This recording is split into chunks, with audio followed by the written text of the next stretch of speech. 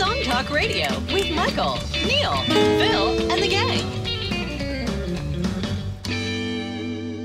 Welcome to Song Talk Radio. This is episode 289.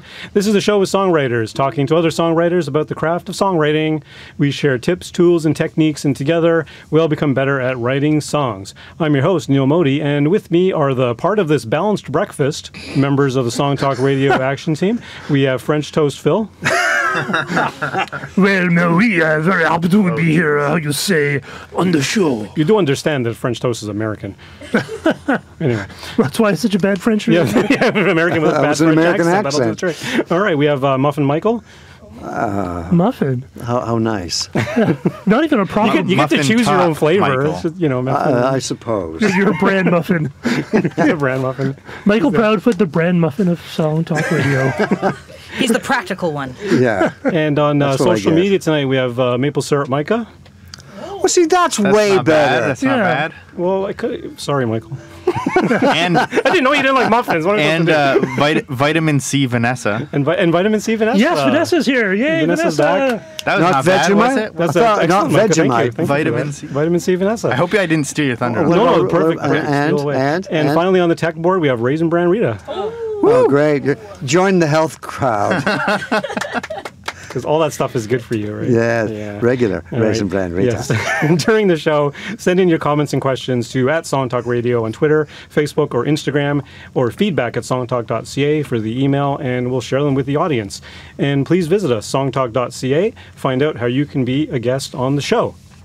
Tonight, a professional singer, songwriter, recording studio owner, and voice actor, Taylor Abrahamse is on the verge of a breakout moment in a promising career. He was a top 40 finalist on Canadian Idol and has performed on stages across Ontario, including Dundas Square, the Mod Club, the Phoenix Concert Theatre, and large concerts, including the Festival of Lights, and as the closing performer for the Ontario Special Olympics. He has also written and produced musicals and music for animated series, including the theme for Fangbone, exclamation mark, uh, produced by Disney XD Worldwide, uh, one of the many cartoon series that Taylor plays a lead character in.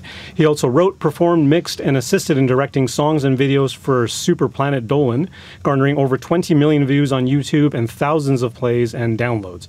After creating a spontaneous performance opportunity on the conference floor of Canadian Music Week, Taylor was soon contacted by legendary Grammy winning producer and engineer Eddie Kramer, Jimi Hendrix, The Beatles, Carly, Carly Simon, David Bowie, Michelle Branch, and many more, who wanted to produce and develop Taylor. Now close to the completion of his debut record of original songs, Eddie describes Taylor as a true artist and songwriting genius. For this forthcoming record, Taylor has received grants from both the Toronto Arts Council and Factor. Welcome back to the show, Taylor. Wow. Thank you, thank you. Last time you were on the show was August 25th, 2015. I had to look it up. It was a long time ago. And, and then you, you were you were partnered up with uh, Taylor and Bryn Yeah. um, as a as a duo, which is uh, w- it- it's some of the best live performances we had on the show. I think. Oh, that's Um, very sweet of you. It was it was Thank really you. really excellent. And, and I run the studio with Bryn. You know, Oh, he's right still on. a big part of my life. Oh, One of the songs on the album is actually a song that we would have done on this show uh, Okay. called "You're My," and uh, I experimented with making a more pop-friendly version of that. And then Oh. Eddie was like, "Whoa, we got to do that." All right then. Excellent. And you got all sorts of things under your belt: animation and voice acting, and well, you're not an animator; you're you're a voice actor uh, as well yeah, uh, voice acting primarily for cartoons. for cartoons. Yeah. Right on. How does one get into that? Ah, That's a that's a big question. I, I I mean, for me, what I can say what my journey was, I was uh, I was basically six years old when I begged my parents for an acting agent.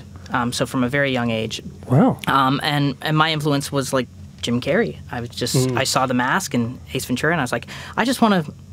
You know, be one of those people who gets to be a child throughout their entire life. Basically, was kind of how I saw it.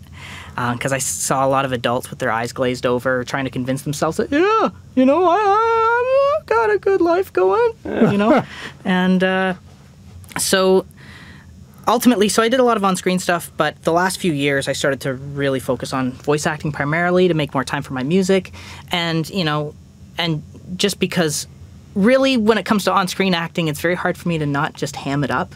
Hmm. And hmm. and I find it very hard to take a lot of dramatic acting seriously. you know, and to get paid for just like slightly like twitching your your left elbow or something like that. You know, it's it's too subtle for me. You know. Okay, so Does you- the um, voice acting uh, have any effect on the way you're approaching your songwriting in terms Oh, of- definitely. Of, how you handle your lyrics and that type of thing? Definitely. Um, yeah, I, that's that's another big question. Uh, as a uh, voice actor, you're thinking constantly about words and how to make. Pres- like Pat Pattison says, right? He talks about preserving the natural shape of the language. Um, he's a great songwriting coach, Yep. and We mentioned on him on the show quite a often. bit, I'm sure. Yeah, Yeah, yeah. And you know, when I took a two day class from him, that was pretty much all that he was harping about for two days straight. And Yeah. and you know, I'm very grateful that I that I took that because that profoundly affected my writing. And as a voice actor, again, it's very much about. I mean, you're manipulating the natural shape of the language because you're trying to surprise these casting directors. You know, if your line is "I love you," you might go "I love you." You know, um, whereas you, you wouldn't typically say it like that in real life. You wouldn't You probably wouldn't sing it that way either. or you might say, You might. or if you're a really arrogant character, you might go, I love you. I. You know, like, because so it's all about you, uh, really. um, but, uh, you know, in, but typically in songwriting, you know, you're going to want to make it like, I love you, right? Or something like that. Like the whatever the stress naturally falls on. Um, but I, I will say that in songwriting, uh, definitely it, it makes me think about uh, songwriting in a much more conversational way and, a, and in a way where yeah you're, you're thinking about words as these as these things that yeah ha- can have so much subtext and so many different ways of approaching them and um, i feel like in the last little while if you listen to a lot of paul simon stuff sometimes he outright just talks a line yeah. yeah, yeah. you know and and i'm having a lot more uh, experimentation with that i think as time goes on So are well. you? So you're very conscious about where the stresses land. Oh, definitely. Are you ever playing with that? Like you ever try it one way and then try it a different way, or try it three or four different ways to see where it lands better, or do you kind of intuitively know? I, at this point, I intuitively uh, know a lot of times just because. Yeah, well, Yeah. just because I've been writing for um, s- literally since I was twelve or eleven years old. You know, Yeah. uh, pretty obsessively. You know, my favorite thing on earth is songwriting. So, but you know, there there's definitely uh, times where e- even on this this record I'm going to be putting out, there were one or two songs that. Uh, parts of them were written before I had taken that Pat Pattison thing, Aha. and uh, there there'll be some odd stresses here and there. Right. You know, but you didn't think were odd stresses at the time. No, I didn't. But but now you're tuned to it more. I, I'm more tuned to it, uh, and but sometimes it's okay to break that rule. You know, Yeah. I like my whole spirit as a songwriter is I want to I want to know a bunch of rules and a bunch of theories and a bunch of things, and and I want to find a uh, effective way to break all of them. You know, whether it's um, like I wrote a song that the lyrics sound like they're absolutely stupid, like just me rattling off things that aren't true. Like I go like, "Did you know that pelicans fly to a car they take to work?"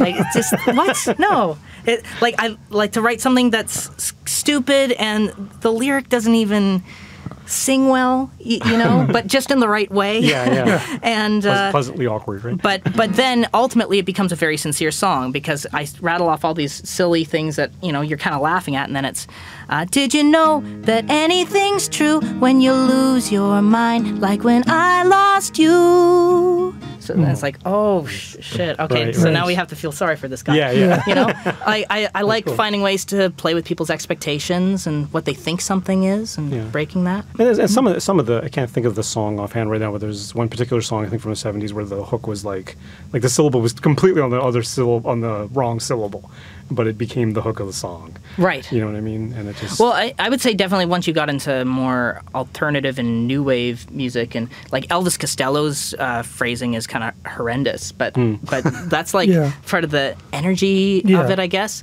I, I do think that ultimately the songs that stick with me the most are you know are the ones that Pat Pattison would say are kind of superior songs. Like you know, Mm-hmm. to me, you know, someone like Randy Newman, where like every word seems even if they seem kind of stupidly simple a lot of these songs they're deceptively simple there's a Yeah. lot of care and thought put into each Does one Pat of those Pattison words actually say you have to do it this way, or just something to be conscious of?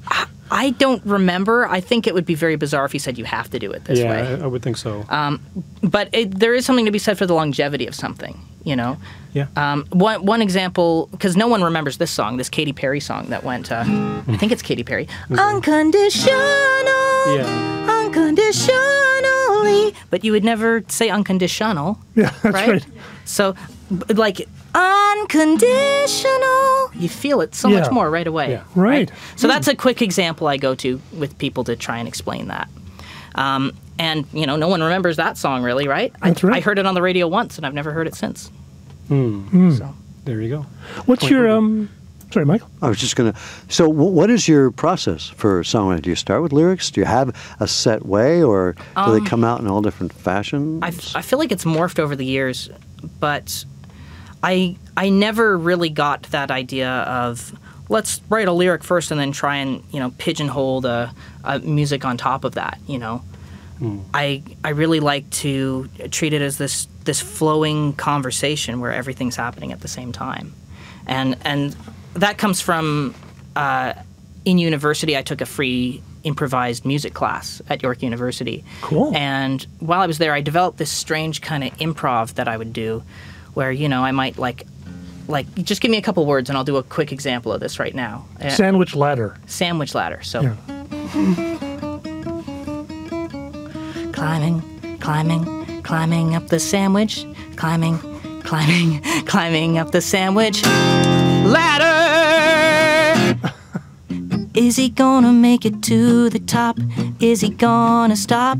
Is he gonna cry? Cause he can see the whole world and it's not what he expected up here. And he can't eat away these tears. He can only get bigger, only get a little sicklier. Oh no, oh no. You know, so like Amazing. um, Great. but it's just me riffing, right? And so right. what I would do is I'd end up doing something like that, and I might go from the oh no to like, uh, like no, no, no, no, no. Ooh, ooh, ooh. Like I like I'll just go into other songs, and it becomes like this eleven minute medley where it's just my my brain do, doing the Oh, stuff that it would do before the internet to entertain itself. Right, right. Yeah. You know?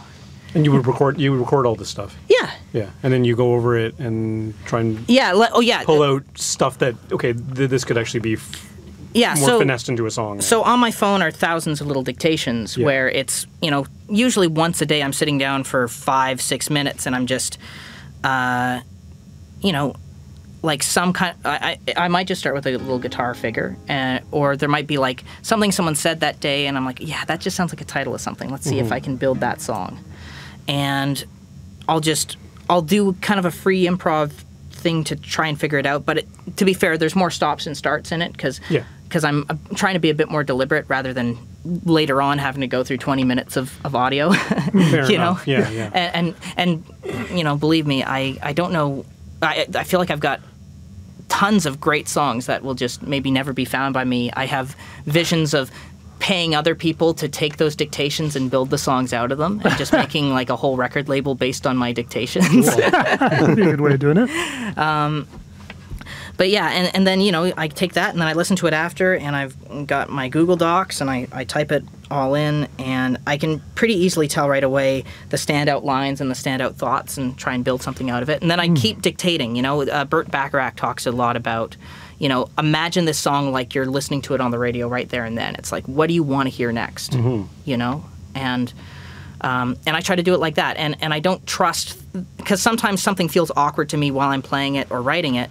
Um, but I'll, I'll still indulge that idea. I'll still dictate myself trying it out that way, and you know, start doing the dishes and listening to that back, and I'll be like, oh, actually, that works really well. You know, I can surprise myself that way too. You want to push your, your own uh, envelope. Ex- exactly. well. If, i there's no joy in songwriting if y- if you know if, if you've got it all figured out already, you know. Yeah. And that's the awkward balance of art and commerce. That's right. Because no one wants to hear you push the envelope, really. well, that's true. Yeah, everyone wants to hear what you've already done. In general. Kind of, yeah. Yeah.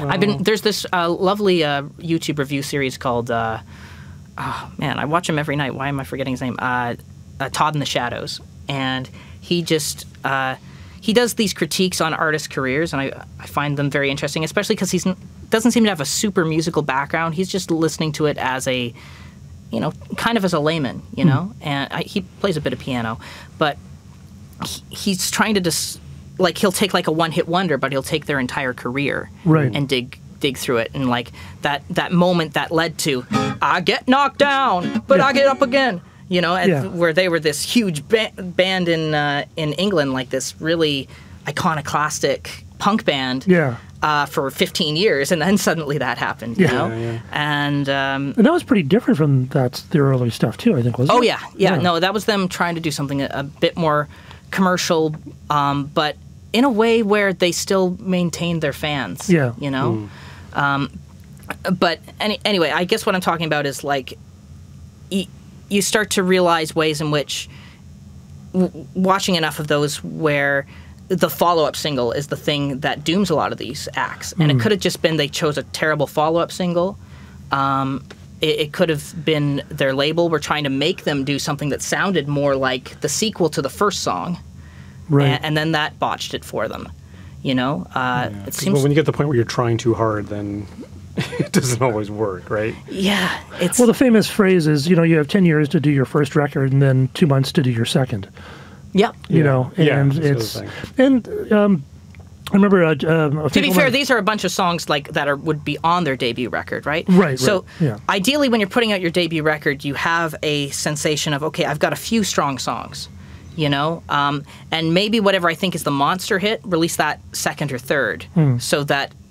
And, but unfortunately, what happens to some of these artists is those first two singles tank, and then they're like, "Well, I guess, all right, this is my last shot, and I'm probably going to be a one-hit wonder." Right? you know?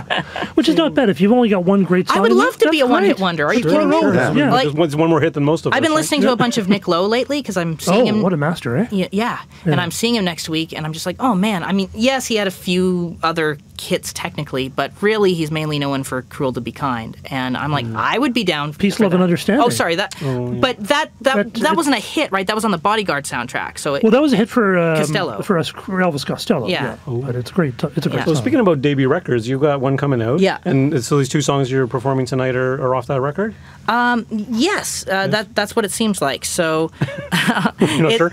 well, the quarter life crisis one. What's odd about that is basically it was just a demo, was all that was uh, recorded for that. But there's something raw and interesting about it, and it'll probably be that version of it that's that's on the on the record.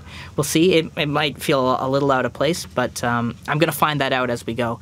But regardless, I have a music video coming out for quarter life crisis in about um, in about a week. So please follow me on Instagram and Facebook and whatever the heck you want in order to uh, be kept abreast of that. Okay. All right. And uh, You want to set up the song, like what, Yeah. uh, how it came about? oh well, Quarter Life was largely written after this whole journey with Eddie. So what happened was Eddie.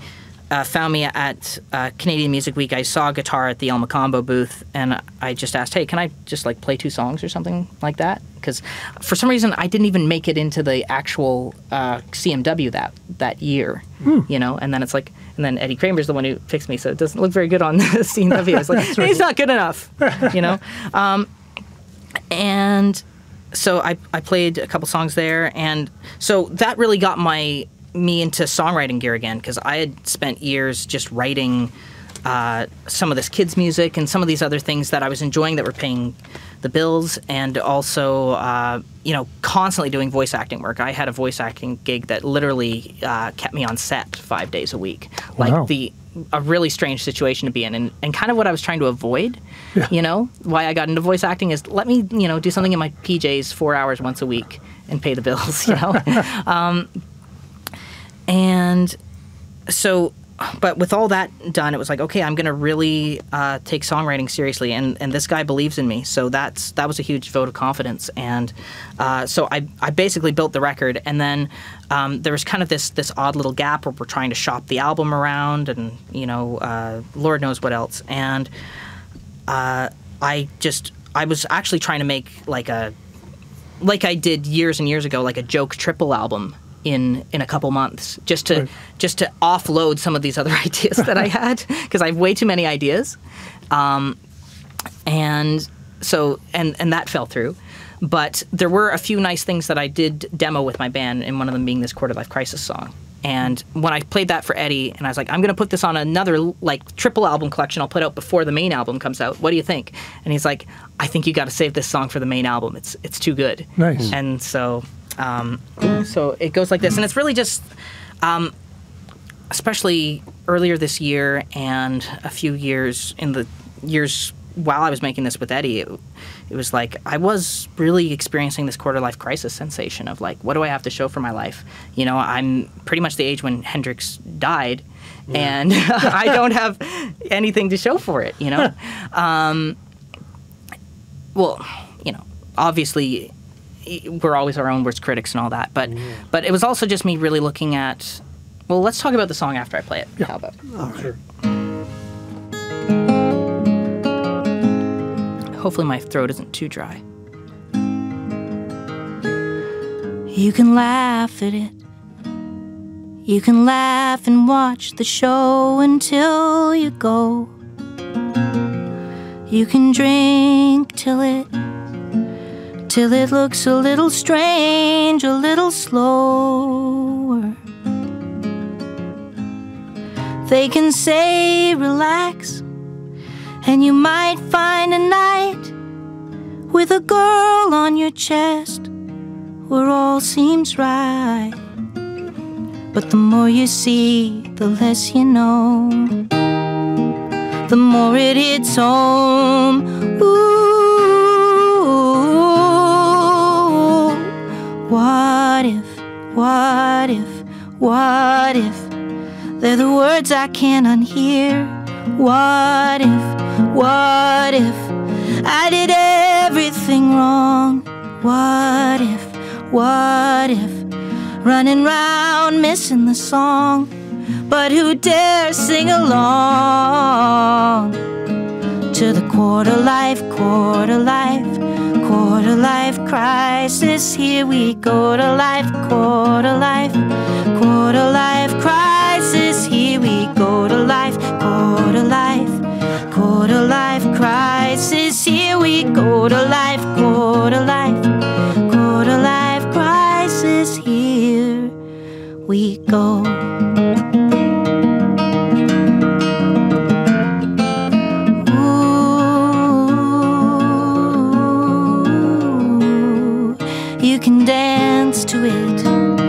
Watch your boots wear down your youth to some brainless hit. You can scream at it, write a tirade till your heart aches. Please, please live and let live. They can say it gets better.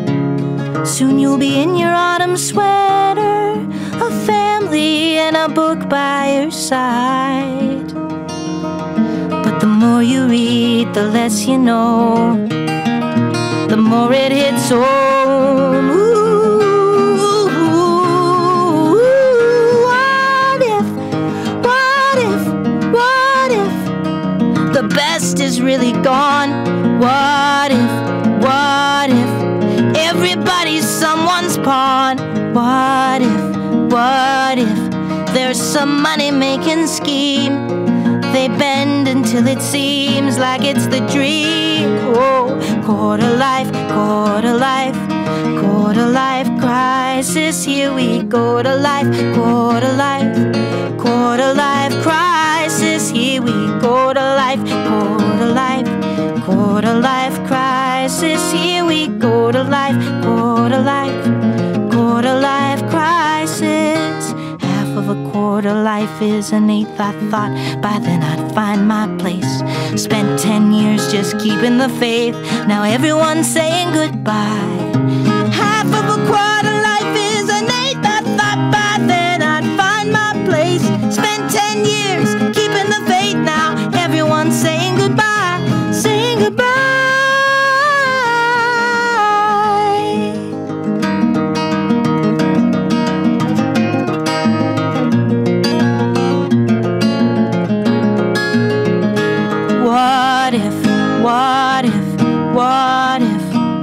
this world will soon be gone? What if, what if it's too late to sing along? What if, what if all these questions are to blame? Yet in the question is my name. I feel my name deep in the quarter life, quarter life, quarter life crisis. Here we go to life, quarter life, quarter life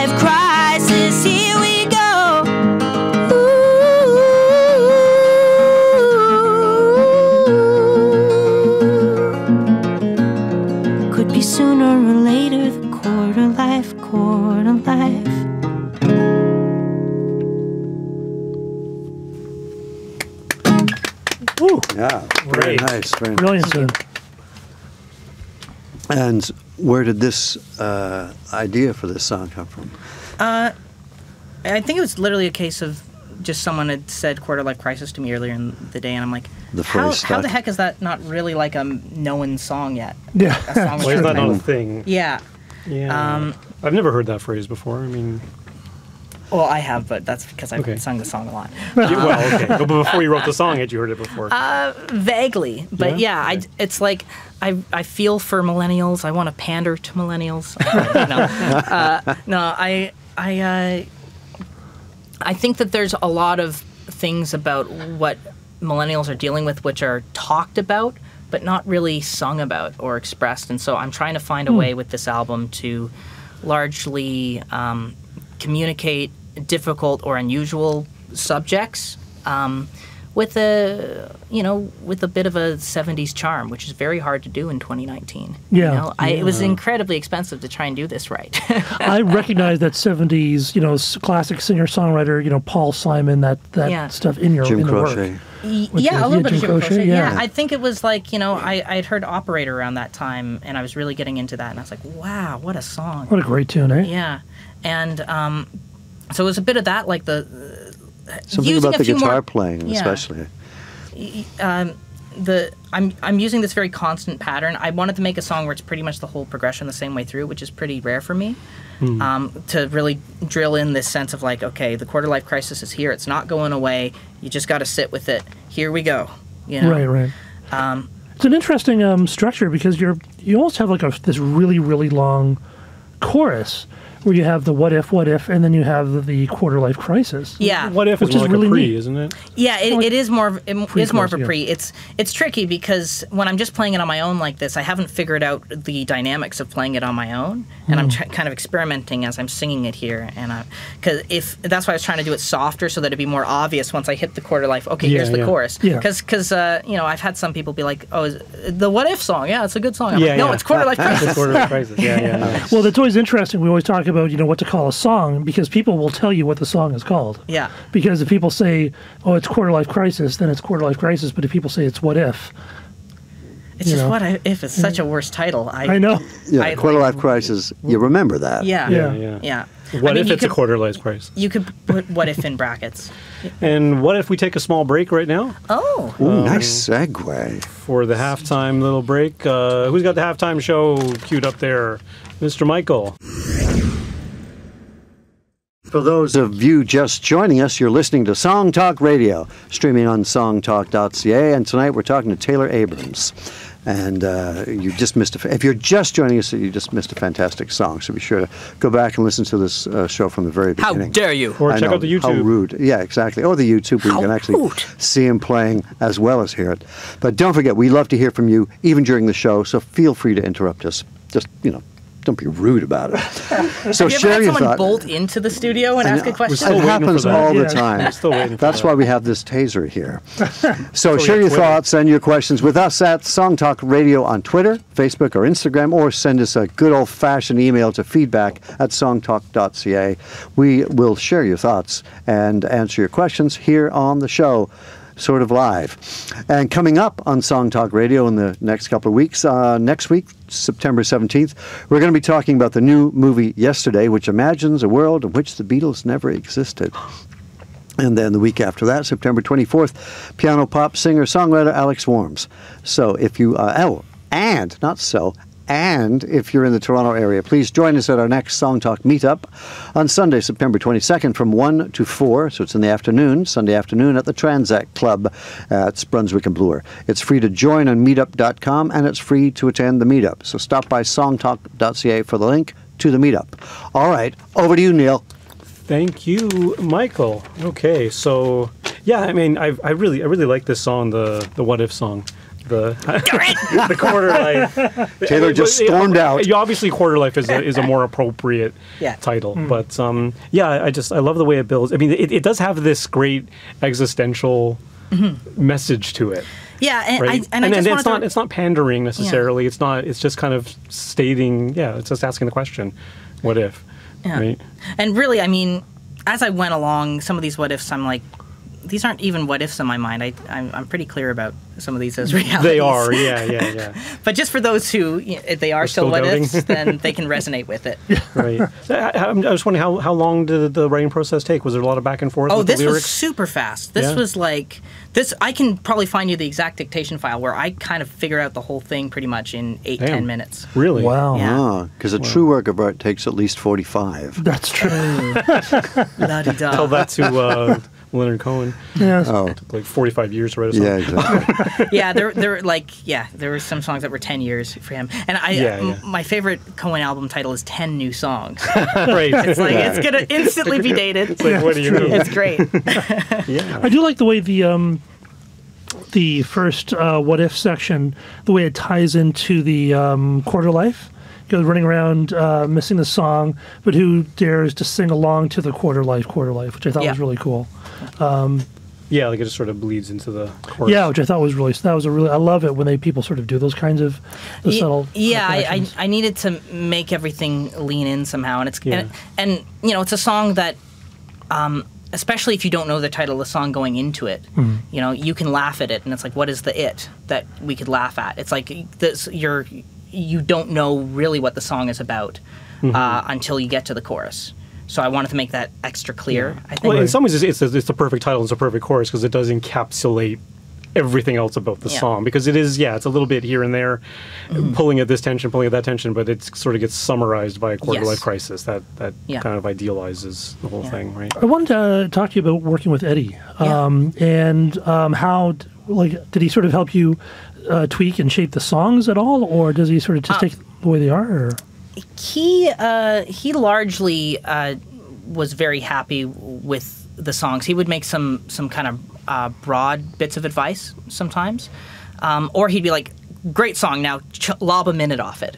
Right. And I Would he tell you where, or he just gi- leave that up to you? I, he'd leave it up to me. I mean, he he um, he gave me a lot of trust and a lot of faith throughout this project, and because he knew that I'm, you know, I'm an artist. I'm not I'm not uh, a pop star who you can just put words in my mouth and I'll regurgitate them nicely. I I'm I am my own artist for better or for worse, you know, and uh, so we worked. But but there were also times where he had some very specific suggestions for some of my songs. Um, like little things and and they would be brilliant and and really help you know people don't think of Eddie Kramer as a as a songwriter right they think of him as a producer and an engineer but you know he has a very good intimate understanding of songs and his philosophy is very much about getting down to the essence of a song mm. you know just cutting out the bs you know i had but but at the same time he loves songs that are uh, experimental and cool and and a little out there you know and that's what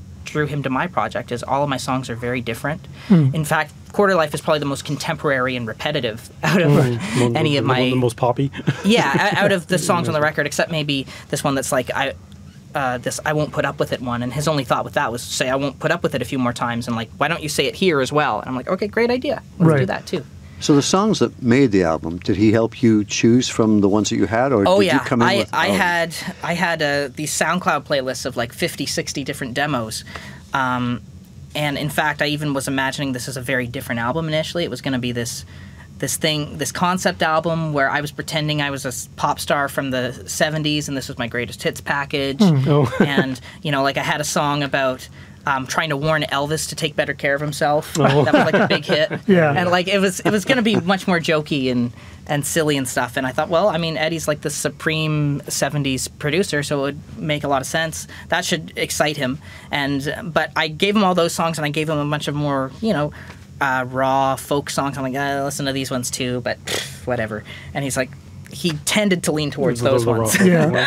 You know, I think it's it's um, something that I've that I used to do a lot when I was younger. Is you kind of lean on humor in in some ways, and it's almost a way of it's a bit of a protection thing. Like by being a joke, uh, making a joke, you can sort of um, put a bit of defense. And yeah, yeah.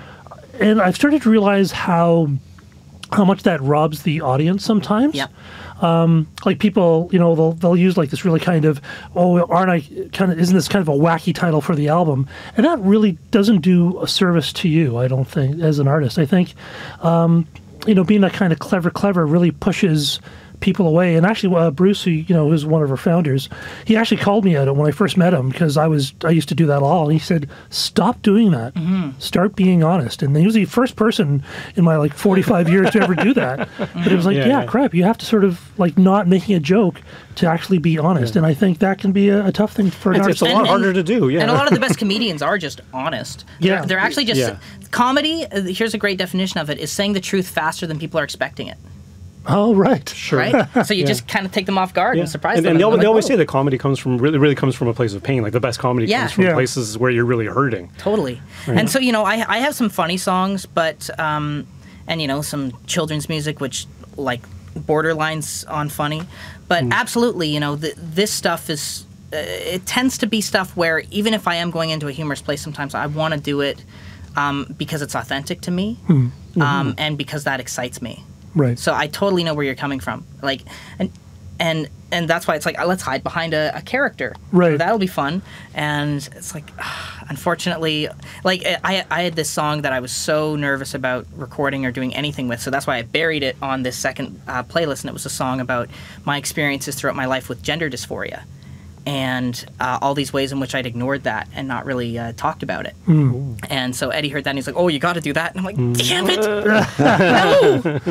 and, and and I I wrote like I told a bunch of people, okay, I'll write a song about this because I you know I there was like a course I took and I actually I, I got up in front of 100 people and, and spilled the beans about this for the first time and then all these people were so supportive and I'm like okay I'll write a song about this and then I farted farted it out in five minutes a lot of these are things that I kind of farted out in five minutes and then it took two years to produce them properly and um, but and I was like, okay, well, I'll write a better song later. And then just I was like, no, I don't know. It was just kind of raw and in the moment, and um, I I did clean it up a little bit, but it said what needed to be said. You won't hear that song today, folks. No, but no.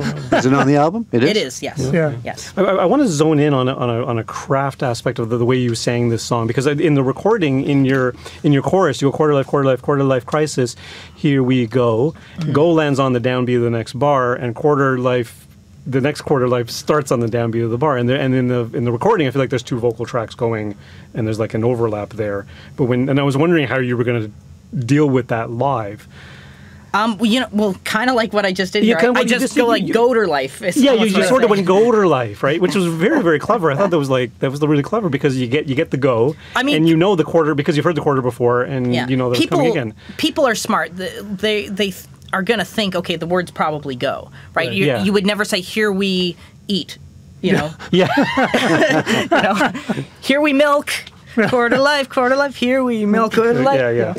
Here we fly. Here we yeah, Yeah. right. Yeah, And I say here we go just on its own at the end of the chorus. yeah, So yeah. I In noticed that case you're well. really in, dense. in case you really you didn't It's like, get oh, it okay. on those times. Yeah. One other thing Yeah. I loved about the song is that the melodies are they're they're they're beautiful, but they're complex. They're not da da da da da da da da da. You know, they're very kind of complex. Was there a lot of time spent uh, sort of melding the um, um, and arriving at the melodies? Again, not really. It, it was very intuitive. Uh, it's like I've, I've just drilled songwriting and listening to music into my mind so much. I've got a supercomputer up here that I can't even explain half the time, and it's it's just doing its thing, you know. Um, but I would but I would say that there's always this thing in the back of my head where I'm almost like taking data from a few different songs and I'm sticking them together and I'm like, yeah, that feels like a, a, a good idea to see what it would be like to take that song and that song and you know fuse them and make a new one. So with this song, you know, here here's the thing is I I'm not sure how much artists should even admit that because of how Well- weird copyright law is Yeah, now. yeah. But uh, well, see, you, you you either putting that process in the foreground or you're letting it s- yeah, work in the background. And, and actually, my my whole thing is to be as honest and uncomfortably honest as possible. You know, once I saw Jim Carrey, who's like my soul brother from a, another mother, you know, um, just be as like screw it, you know, nothing's real, and and like be that wacky and but but honest. I was just like, I'm just gonna do that in my daily life and let people, you know, leave it up to them to make sense of me for themselves. Right, you know? right. Like sometimes I've I've gone down the street wearing you know some some lady clothes, and it's like it's like I feel like I'm forwarding a movement just by existing that way. It's kind of nice. Right, it's like right. killing two birds with one stone. I'm like texting someone and I'm like forwarding. and you're comfortable. Multitasking. and cool, cool and comfortable. Exactly. You know. um, but uh, I digress. Uh, so the two songs were probably uh, a gentle on my mind. Ah, yeah. you know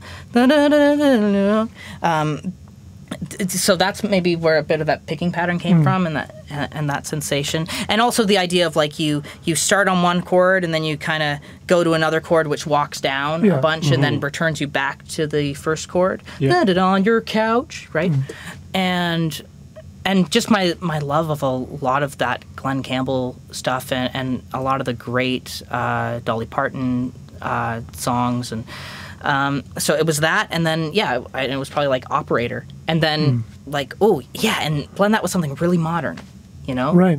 you know and just trying to find a neat sandwich to put together. And you just stick that in, in your mind and um, and it barfs out a song you know? Right. You make Lovely. it sound so as long easy. as as long as you're practicing it, because sometimes you I write some terrible things. You know, I think overall I've Well, probably that's part of the better. practice, though, isn't yeah. it? Yeah. Yeah, it, it's a practice, and and I, I, it's such a shame to me when people don't realize that.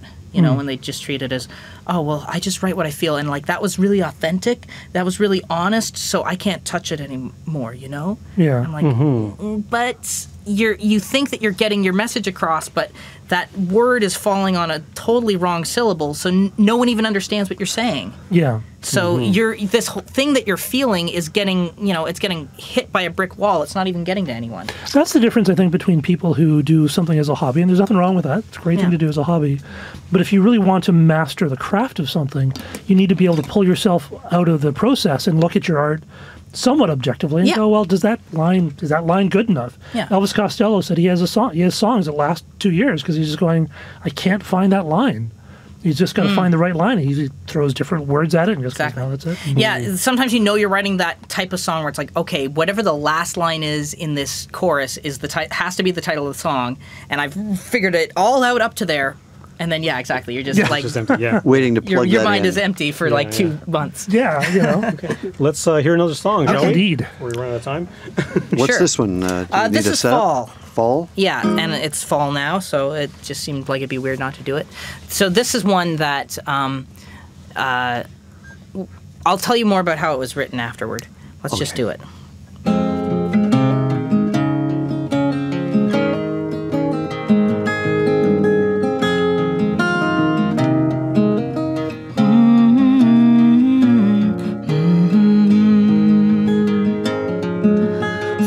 Is coming down like an anvil on my head. My hopes are put to pasture, and the gate is locked and set. I've counted all my blessings, but they won't get me out of bed. Saying so long to summer again. You were my antidote, but you weren't ready yet. I could see you in your short jeans, counting dreams with me instead. The quiet in these parts don't stop the voices in my head from saying every trail I find, I'll just regret. Now I don't believe anymore in anything. Belief is just a game I play to help me fall asleep. I've heard the quiet cooing of the lonely morning dove. Seasons of sorrow, seasons of sorrow. Why'd I ever fall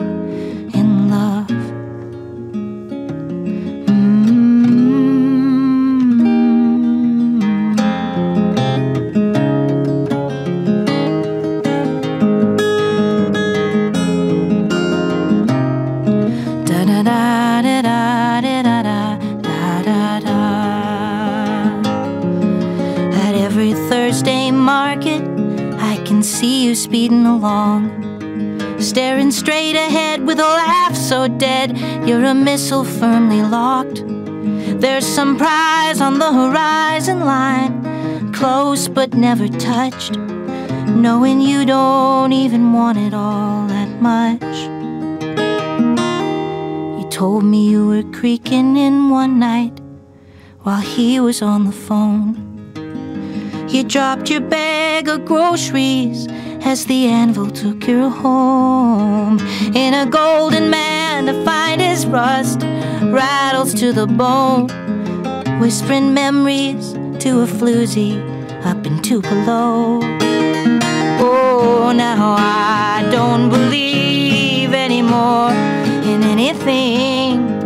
Belief is just a game we play to help us fall asleep. We've heard the quiet cooing of the lonely morning dove. Seasons of sorrow, seasons of sorrow. Why'd I ever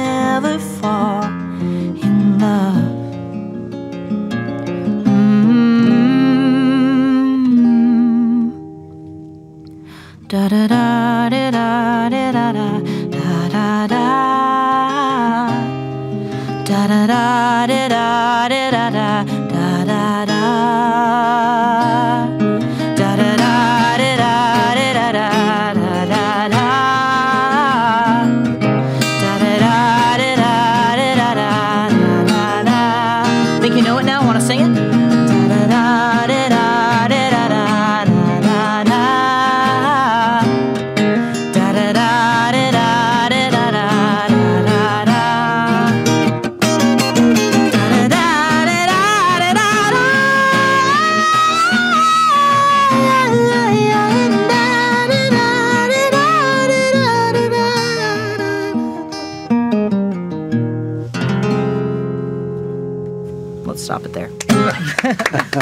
That was a cool ending chord. Beautiful. It's a minor nine played with a Gotta love the minor nines, aren't they? just a fatter one than that, Yeah. than that guy. It's a jazz chord. Oh, it's it's just a, it's it's a chord. It's a chord. Why we got to do all this nationalist stuff? No, with, no, Yeah. no. You're right. You're right. Labels, Chords. labels don't help us. So, Michael, what'd you think? Uh, I was kind of caught up in that. That was really uh, the again the the music, the the guitar playing is really uh, I find I don't hear that enough these mm-hmm. days. So it's really mm-hmm. cool to hear it now. Thank you. Yeah, I, I, I think why I do finger picking so much is just because I was such a loner throughout when I was really learning guitar, and I was like trying to fa- sound like a full band, even though I wasn't. You know, Right. trying to just make it as entertaining as possible for people. You know, and and I figure if I can entertain people a ton and sneak in something meaningful and thoughtful at the same time, then cool. Yeah, even the little licks in between chords were uh, really kind of original. I, re- I just really enjoyed it for that, especially. Thank you. Yeah, I, the funny thing is, a lot of my guitar skill I got within the first three, four years of playing guitar, and then it just kind of plateaued, and I, and I got more interested in songwriting. Sorry. No, The, but, um, when, but when you have that that basis of of the the proficiency with the instrument, that supports your songwriting Yes, in a it does. fantastic Yeah. way, doesn't it? It helps Like, a lot, yeah. and and I'm sure uh, I'm my songwriting is also uh, limited as well in a certain way. I, I want to get better at uh, piano, and I want to find whatever the next level of uh, guitar playing is for me to learn. But I'd have to like take one-on-one classes with Bruce Cockburn or something like that, which would uh, Yeah. probably not be that feasible. But we'll see. Well, because I mean, I I grew up listening to Jim Croce and you know just just loved his stuff. But he very often had two guitarists Mm-hmm. Yes, on his stuff. and I the incredible blend with two guitars. The best blend that I've ever heard with just two guys playing a six-string guitar at the same time. yeah, at, at first you don't realize it's two, and then Mm. I remember as as I got I got to a certain point and went, oh, there's two guitars. It's why I never knew that it." till now. Yeah. Oh, th- there's this live clip of them doing Operator. Yeah, that's isn't that like great? The best blend of two acoustics I've ever heard. Yeah. We, we had a we had a guest way back when. Remember Gary Woods? oh yeah. He was Gary an Woods. instrumental guitarist. He never sang or anything like that, but he used like partial capos on his guitar. Oh, yeah. where you just you're just pinning down like three of the strings out of the six, and it sounds like bloody two guitars going Yeah, at once. he's It's amazing. Yeah. Gorgeous, gorgeous stuff, right? So I, I've dabbled a bit with different tunings and stuff like that as well. Mm-hmm. Um, you know, it, it, it's life so so far has been so much about getting ready for this release and promoting stuff. When, Mm-hmm. Whenever there's a lull and I'm kind of properly in the cycle of the Canadian music industry, then Mm. then I'll I'll learn some new things. A couple of the things- lyrically, it was um, a lot of this brought uh, brought to mind um,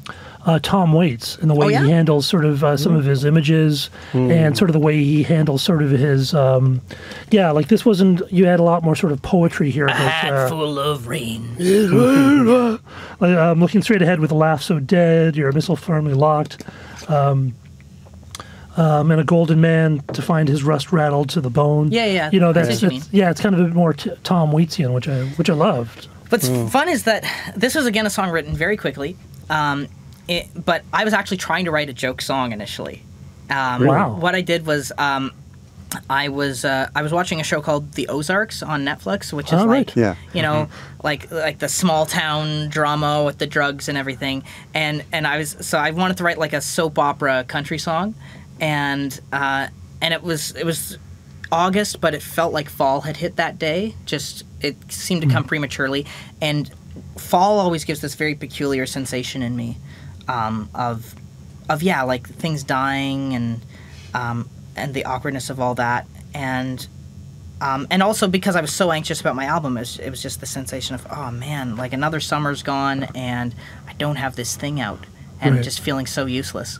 So I was coming from from that, and I was really just trying to write a joke song, and there were a couple different lyrics, and I all I had to do was change a couple words, and then it became this this like haunting, heavy song. Wow. So it used to be like fall is coming down like an anvil on my head. I'm like anvil, like that's like a Looney Tunes thing, right? Right, right. Yeah, yeah. uh, my hopes are put to pasture and like imagine it with an accent and then it's a Right, silly song. yeah. my hopes are put to pasture and the gate is locked and set um, it was uh, you were my antidote but you weren't ready yet i could see you in your short jeans herding sheep with me instead Oh, And i just Yeah, yeah, changed yeah. that to counting dreams Counting Gloom, Dreams, disparity, a little bit more gloom, disparity, yeah. and uh, what is it? Uh, the great famous uh, hee haw song, gloom, disparity, and Oh, I'm sorry. I'm just not up on my hee haw. but they wrote a song that was kind of like that, A couple but not things nearly are, as a good. couple things I really like in the chorus, um, and then I'll tell you what I don't what I don't like about the chorus. But first, um, I heard the quiet cooling of a lonely mountain. dove. the melody there, Morning Dove, yeah. you know, the uh, lonely mountain, morning dove. Um, the melody's really beautiful there. The chord choices there were fascinating. I Mm-hmm. don't know exactly what the chords were there, but they they introduced this amazing tension, and then you can, and then I expected that to resolve right away, But it- I got but more you didn't. You got Yeah. more tense with Seasons of Sorrow, Seasons of Sorrow. You kept it going, and you, then you you have Elton John to thank for that because he, Yeah. had, he had a few Yeah. hits where he had these really tense, long choruses. Like Philadelphia Freedom, I think Oh, is an incredible chorus. Like his his peak chorus, like the one, maybe the best thing he ever wrote, and and it, like I still can't wrap my mind around that. You know, yeah. writing something that. So I guess that was an attempt at making a longer form chorus. Yeah, and it totally Can we actually talked talk yeah. about totally what works. those chords were because they were quite interesting, um, actually. Yeah, from where I was sitting, I just saw the back, so it was driving me crazy. How doing that? Got well, it on film. well, the first half true. is a lot like the verse, right? right. So you've.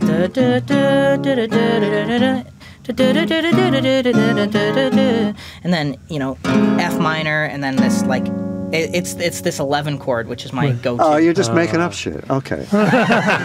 Isn't that what songwriting is? yeah. So it's like I'm playing with a capo on, but for to indulge my my mind and transposing and stuff. Yeah. So like E minor nine, and then like an F over G. And Okay, and what, right. what's the bass key signature? Like, what's the bass chord of the? Like, what, what, what chord does the chorus start on? Uh, it starts on E minor. It starts on E minor. Yeah. So then you're going to and. and, and so yeah, it's kind of like walking down almost. So that's the transition, and then and then you're to A minor, and then you're to B minor. So you're walking up now. C to D. Yeah. And then I'm going to B minor again, but.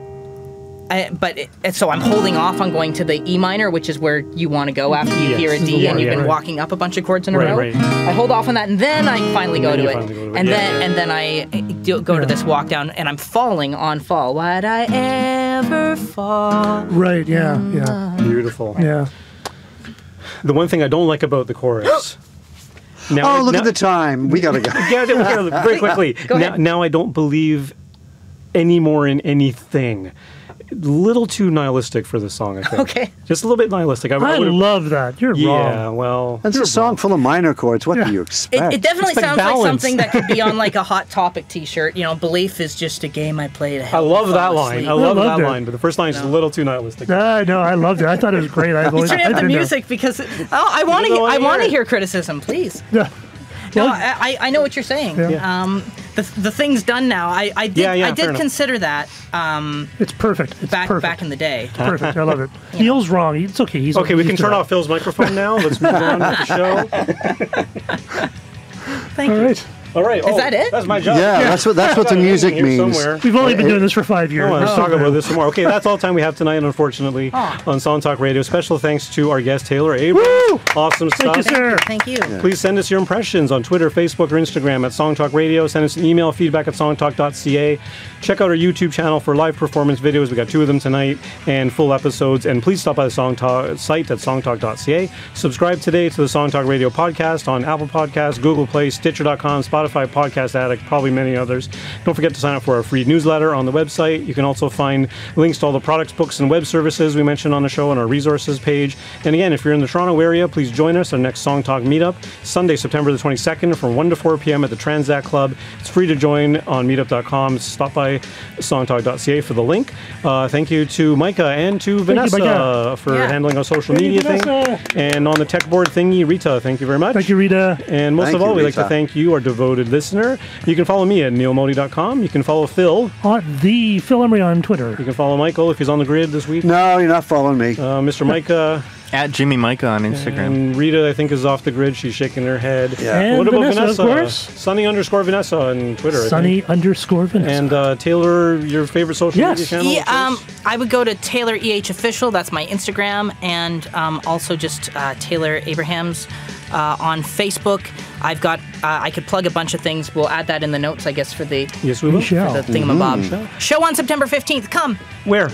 Oh, uh, uh, uh, To Uncovered. It's at uh, Revival Bar. Cool. Revival, okay. All right. And stop by the website, songtalk.ca, browse past shows, find out how you can be a guest, and keep on writing. Good night, And everyone. rockin'. Bye.